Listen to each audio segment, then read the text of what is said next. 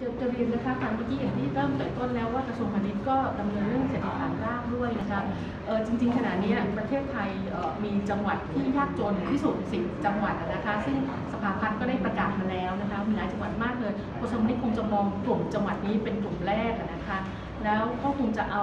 โครงการลักษณะนี้อาจจะไม่ได้เหมือนกันซะทีเดียวนะคะอาจจะหลาย ๆ รูปแบบลงไปช่วยเหลือชุมชนในลักษณะเดียวกัน ทั้งนี้ก็ขึ้นอยู่กับความพร้อมของชุมชนด้วยว่าชุมชนจะอยู่ในระดับไหนเพราะอย่างที่เรียนนะคะ SB ก็มีหลายระดับ อาจจะตั้งแต่เบื้องต้นที่ยังไม่รู้เรื่องการค้าเลย ก็เริ่มแต่จดทะเบียนธุรกิจก่อนเลยค่ะ ต้องจดจัดตั้งทะเบียนธุรกิจก่อน แล้วก็เชื่อมโยงตลาดในประเทศนะคะจากนั้นก็ค่อยก้าวสู่ตลาดต่างประเทศ ถ้ามีปัญหาเราก็จะเอาเรื่องการค้าออนไลน์เข้าไปจับได้ด้วยนะคะแล้วเราก็มีสถาบันเอ่อผู้ประกอบการค้ายุคใหม่เนี่ยที่ที่เรามีที่นี่เรามาใช้สถานที่เนี่ยนะคะสามารถที่จะนำองค์ความรู้ต่างๆที่มีอยู่แล้วเนี่ยตามลำดับขั้นเนี่ยไปอบรมในภูมิภาคได้ด้วยค่ะ เรามีความพร้อมค่ะ แล้วชุมมิตก็จะเริ่มทำจากหนึ่งที่เรียนคือ10จังหวัดที่ยากจนเป็นลำดับแรกค่ะ ท่านรองประหลัดได้พูดถึงเอ่อ10 จังหวัดยากจนสำหรับในปี 60 เนี่ยเอ่อ10 จังหวัดยากจนที่สุดของประเทศไทยเนี่ยก็ประกอบด้วยแม่ฮ่องสอนนราธิวา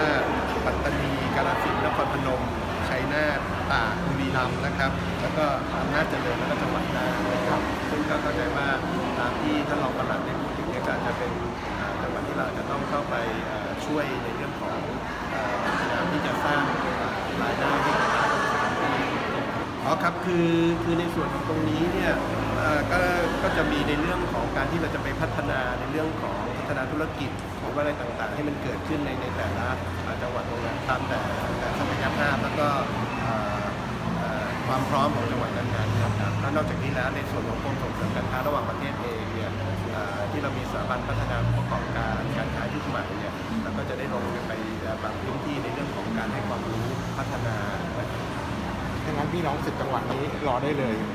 ครับก็ก็คงจะต้องมาดูข้าหมายก็ว่าเป็นนโยบายของท่านรัฐมนตรีอยู่แล้วในการที่จะเอ่อกระจายในเรื่องของเอ่อการพัฒนาต่างๆไปสู่ภูมิภาคโดยเฉพาะในเอ่อ